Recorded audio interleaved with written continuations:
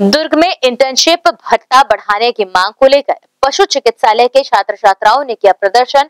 अनिश्चितकालीन हड़ताल पर बैठे जमकर की नारेबाजी। दुर्ग में पशु चिकित्सा एवं पशुपालन महाविद्यालय अंजोरा के छात्र छात्राओं ने बुधवार को भी अपनी लंबित मांग इंटर्नशिप भत्ता बढ़ाने को लेकर प्रदर्शन किया और कई बार विभाग प्रमुख को पत्र के माध्यम से अवगत कराने के बावजूद किसी भी तरह की कोई पहल नहीं करने पर अपना आक्रोश व्यक्त करते हुए अनिश्चितकालीन हड़ताल प्रारंभ कर दी।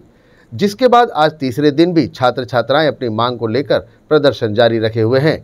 पशु चिकित्सा एवं पशुपालन महाविद्यालय अंजोरा के गेट पर प्रदेश सरकार के खिलाफ अपना आक्रोश जताया। इस मौके पर इंटर्नशिप कर रहे छात्रों ने कहा कि अन्य राज्यों से इंटर्नशिप के दौरान 17 से बीस हज़ार रुपये तक प्रदान किए जाते हैं, जबकि छत्तीसगढ़ में महज चार हज़ार छः सौ रुपये ही प्रदान किए जाते हैं, जो न्याय संगत नहीं है। कॉलेज की कैपेसिटी लगभग सौ छात्रों की है। हम साढ़े चार वर्षों की पढ़ाई के पश्चात एक साल के लिए इंटर्नशिप में जाते हैं। इस इंटर्नशिप में हमें 10 से ज़्यादा जगहों पर अपनी सेवाएँ देनी होती है। इस सेवा के एवज में हमें मात्र छियालीस सौ रुपये प्रति माह दिए जाते हैं, जो कि वास्तविक महँगाई को देखते हुए बहुत ही कम पाया गया है। हम, हमारी शासन से यही मांग है कि इसे बढ़ाया जाए। आपने स्ट्राइक कब शुरू की थी? हमने स्ट्राइक एक अगस्त से शुरू की थी और ये अनिश्चित काल तक जारी रहेगी आपकी सरकार से डिमांड क्या है?